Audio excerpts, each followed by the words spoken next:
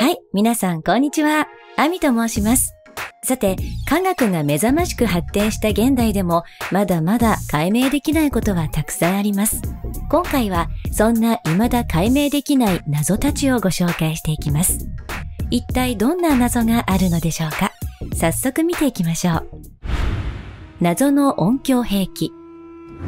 兵器と聞くと銃や爆弾をイメージする方も多いかもしれませんが、近年音響兵器という目には見えない攻撃が実際に行われている可能性が浮上しています。被害に遭ったのはアメリカやカナダの外交官たち。外国に駐在していた彼らは不思議な音を聞いた後、頭痛や耳鳴り、めまいなどの症状に襲われたといいます。この現象は最近アメリカのホワイトハウス近くでも発生したと言われていて話題となりました。外交官たちの症状はハバナ症候群と言われ、ある特定の国が行っている音響攻撃ではないかとも考えられています。このように様々な症状を引き起こす音響兵器は西側や東側諸国で開発が進められているようです。このような兵器の開発には人体実験が行われることもありますが、アメリカでは倫理的な視点から人体に影響を及ぼす兵器の人体実験をはじめ、技術の開発自体を現在は行っていないといいます。一方、かつての旧ソ連では、このような兵器の開発や実験が行われていて、その後、ロシアや別の国々に伝わった可能性が指摘されています。具体的な開発の内容は不明ですが、このような音響兵器はマイクロ波を活用したもので、脳の機能に影響を与えているのだと言います。このマイクロ波を活用した音響兵器が開発や実験のみならず、実際に使われていると考えると、これが原因でハバナ症候群につながった可能性も十分考えられます。とはいえ、この見解については、本当にそうなのだろうかという懐疑的な見方をする専門家もいます。その根拠は冷戦での研究です。実はこのような音響兵器は冷戦中アメリカでも研究が進められてきましたが結局成功することはありませんでした。その点から現在も実用化は難しいのではと指摘されています。また、音という形がない兵器は狭い場所を狙って使用するのが難しいと言われています。この意見に対して、イリノイ大学のジェームズ・リン名誉教授は反対意見を述べています。教授によると、音響兵器は狭い範囲にエネルギーを集中させるのではなく、ほんの少しの量で熱弾性圧力波を生み出し、軟組織に影響を与えられるといいます。圧力波は音のように聞こえるほか、圧力波を発する装置は車やスーツケースなどに入れれば容易に運搬が可能だといいます。さらに攻撃をするための広いスペースなども必要ないと言われています。ちなみにアメリカは2000年以降にウェーブバンド社がメドゥーサというマイクロ波を活用した兵器を開発していました。兵器はマイクロ波で脳内の軟組織を熱し、頭蓋骨内部に衝撃波を作るというもの。この兵器に関しては、海軍が2004年の文書でその効果を記しています。メドゥーサはマイクロ波による音響攻撃で攻撃対象を一時的に戦闘不能にする兵器で、人を殺めるほどの威力はありません。立ち入り禁止区域などに設置し、侵入者を抑制する目的で使用することを想定しているようです。当時この音響兵器を開発したウェーブバンド社の元 CEO レフ・サドフニク氏は、この装置は車などで簡単に運搬できるだけではなく、人の目に触れにくい。遠くのエリアに使用するのは難しいが、標的がホテルの隣部屋にいる程度の距離なら十分に使用は可能だと語っています。とはいえ、ご紹介した通り、こちらの装置は人を殺めたり人体に障害を残すようなものではありません。一方、ロシアや中国では当時のアメリカ以上に開発が進められていて、現在確認されているハバナ症候群もロシアや中国が関与しているのではないかとの噂が囁かれています。実際旧ソ連時代にはアメリカの外交官がマイクロ波で攻撃されたことがありました。同じ時期にアメリカでもマイクロ波などを活用したエネルギー兵器が研究開発されています。過去の研究はそれ以降、長距離音響発生装置、サウンドキャノンなどの開発へとつながっていきます。これらの兵器はアメリカ軍や警察などで実用化され、デモが発生した時の鎮圧などに活用されているようです。専門家によると、アメリカで音響兵器の開発が停滞しているこのタイミングで敵対関係にある国々は音響兵器の研究と開発を進めているといいます。ハバナ症候群は敵対国が開発した兵器がテストされた可能性が高いという見方もあります。正体不明の古代遺跡。古代遺跡、ポルバジンはシベリア奥地、モンゴルとの国境近くの湖に位置しています。この遺跡は今から1300年前に作られたと見られていて、形が長方形であるという点以外、詳しいことはほとんど明らかになっていません。専門家によると、この遺跡は西暦744年から約100年間続いた遊牧国家ウイグルと同じ時期に作られた可能性が高いといいます。ボルバ人は歴史家や科学者など様々な専門家が調査に当たりましたが、建てた人はもちろん、建てられた理由、実態は現在でも謎に包まれたままです。ポルバ人の使用目的について、現在言われているのは次のような説です。人を招き入れるための施設、権力者の宮殿、修道院、天体観測をするための施設。これまで何度か調査が行われてきた遺跡ですが、ここ最近では2007年に大々的な調査が行われました。その結果、人の身長ほどの高さの粘土でできた平板や漆喰の壁、そして壁に直接描かれた絵、燃焼した木、大きな門が見つかりました。人工物の痕跡が見つかったことから人が住んでいたとも考えられますが、この遺跡がある場所は周辺国との交易ルートからも大きく離れていて、あえてこの場所に城塞のような遺跡を築いた理由はわからないままです。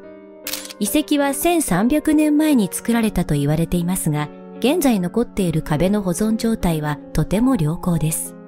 これらの建造物の一部は中国の伝統的な建築様式の特徴を感じさせます。保存状態が良好というのも、このエリアの環境を踏まえると少し違和感があります。ここは海抜 2.3km でかなり気温が低いエリア。にもかかわらず暖房設備のようなものは奇妙なことに発見されていません。2007年にはプーチン大統領がこの遺跡を訪れましたが、このような奇妙な場所を生まれて初めて見たと語ったといいます。現在もその謎のほとんどが解明されていない古代遺跡ポルバジン。遺跡の土台は永久凍土層ですが、実はあと80年もすれば地球温暖化の影響を受けて溶けてしまうと言われています。つまり、あとわずか数十年で貴重な古代遺跡は海の中に消えてしまう可能性が高いのです。ポルバ人はこれまでの歴史で地震にも数回見舞われていて、地盤が脆くなっているほか、遺跡内には損傷があるのも確認されています。遺跡が現存している今の状況で、果たして謎が解明される日は来るのでしょうか今後の調査結果を待ちましょう。ザ・レイクザ・レイクと呼ばれる未確認生命体が姿を現したのは2003年の夏のこと。主にアメリカ国内のニューヨークやアイダホで目撃され大きな話題となりました。レイクは大きな瞳と猫背、そして全身の毛がないという3点が大きな特徴です。レイクは深夜に人間の家に押し入り、冷たい手で触れてくると言われています。さらにレイクは耳元で次のターゲットの名前を囁くという恐ろしい話も同時に伝えられています。話によると、レイクはターゲットの家に侵入して冷たい手で起こした後、大きな瞳でターゲットを見つめ、目が合うと攻撃をしてくると言います。レイクから命を狙われた人の中にはあまりの恐ろしさにレイクに殺される前に自ら命を絶った人もいるようです。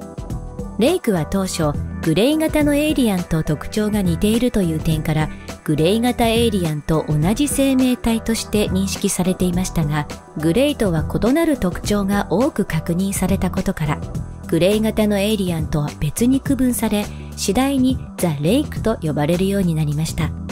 レイクは人間の家に直接現れることが多く、住宅街の監視カメラでもその姿が多く捉えられています。家の周辺はもちろん、屋根や地下室、下水道に潜んでいたこともあり、当時の様子が実際に撮影されています。レイクの正体は諸説ありますが、ネイティブアメリカンの言い伝えに出てくるスキンウォーカーの可能性が高いと言われています。スキンウォーカーは人間をはじめとした多くの生物に姿を変えることが可能で人間を襲う習性があります。一方中にはレイクなど存在せず人間のいたずらだという説もあります。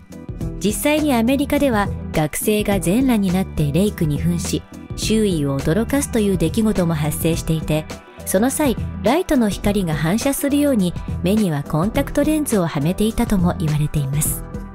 実際写真で撮影されたレイクの写真は目の部分が反射していて、一層不気味さが際立つものになっています。果たしてレイクは本当に存在するのでしょうか？存在するとしたら、彼らは一体どこから何の目的でやってきたのでしょうか謎の白い飛行物体。ある日、ドイツ人の観光客が飛行機に乗っているさなか、ふと窓を見てみると、謎の白い飛行物体が浮遊しているのを目撃しました。当時の光景は現在動画でも見ることができますが、それを見てみると形を変えながら飛行機と同じぐらいの高さで飛行しているのが確認できます。これはただの光の錯覚なのでしょうか？謎の白い飛行物体は雲のようにも見えますが、まるで意志を持っているかのように形を変えながら飛行しています。この奇妙な現象を目撃したドイツ人旅行者は、超常現象の専門家に映像を送りました。その映像を見た専門家は、この現象について次のように述べています。これは UFO のような飛行物体ではなく、プラズマでできた生命体だと思われる。映像を見てみると飛行機と同じ高度、スピードで動いているようだ。この謎の白い飛行物体は7分ほど上空を飛行していたといいます。動画のコメントには飛行機事故に関係している幽霊だ。天使のように見える。形を変えて動く妖怪だ。など様々な意見が寄せられています。もちろんこの現象を超常現象だと思っていない人もいて、コメントの中には単なる光の錯覚だ。カメラの焦点が窓の外の水滴に合っているだけだという意見もあります。果たしてこれは未確認の飛行物体や生命体なのでしょうか？